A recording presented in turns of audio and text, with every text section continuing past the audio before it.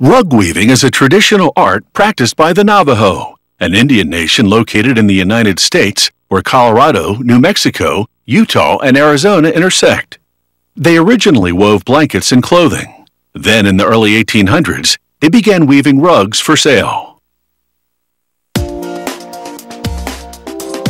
While many weavers create contemporary designs, Navajo rugs typically feature bold geometric patterns. The wool preparation and weaving techniques developed by the weaver's ancestors have been proudly passed down from generation to generation. Everything in a Navajo rug comes from nature, starting with fleece, raw wool sheared from a sheep. Working a handful at a time, the weaver removes the mats and tangles and places the wool on carders, wooden paddles with metal teeth.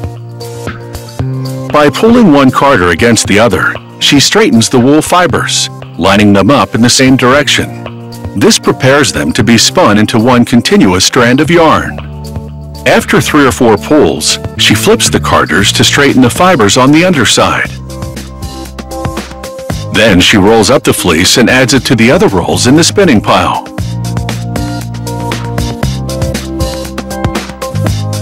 She spins the fleece one roll at a time with a traditional spindle that she lays against her thigh and rotates towards her with one hand.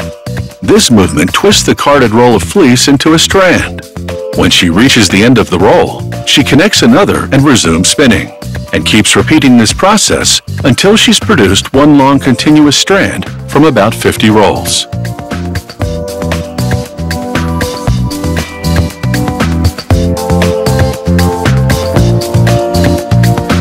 Then she respins the strand to thin it out to the final weaving size.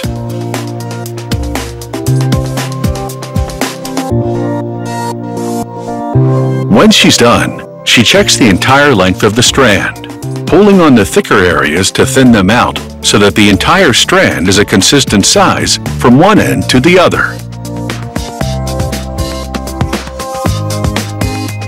Here you can see the difference in thickness between the first spinning and the second. To infuse her wool with color, she prepares natural dyes.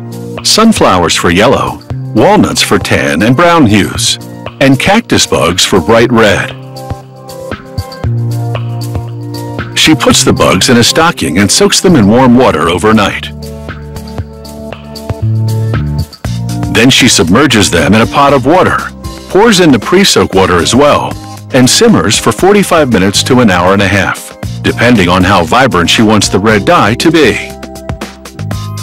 Meanwhile, she soaks the yarn in warm water for at least a half hour to open up the fibers, so that they'll absorb the dye. After wringing out the yarn, she immerses it in a pot of hot dye and simmers for at least 45 minutes, depending on the amount of bugs, water, and wool. She stirs frequently to ensure it dyes evenly throughout. It's the same process with plant dyes, except that she doesn't pre-soak the plants overnight before boiling them in water. The shade of color depends on the ratio of plants to water during dye preparation, then of dye to the quantity of wool. Proportionally more plants than dye, the darker the shade. Proportionately less, the lighter the shade.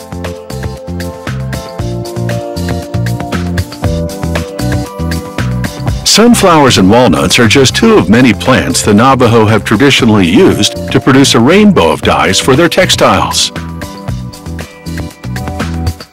With her wool now spun and dyed, the weaver picks up her weaving comb and begins. Navajo ancestors used trees as the sides of their looms.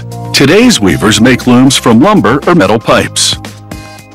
After stringing tight vertical strands of wool called the warp, she uses a flat handmade stick called a batten to pry a wide enough opening through which to pass her hand with the colored weaving wool. She weaves horizontally in and out between the warp, first in one direction, then in the other. Then she packs down the wool tightly with her comb so that the warp doesn't show.